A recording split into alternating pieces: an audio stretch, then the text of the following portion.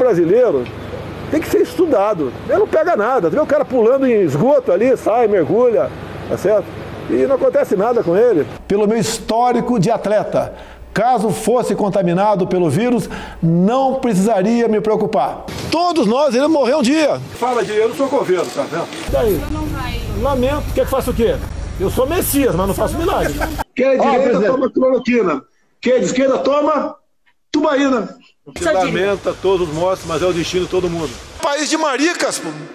Se você virar o, o chip, virar o jacaré, é problema de você, pô. Não está nada comprovado cientificamente com essa vacina ainda. Chega de frescura e de mimimi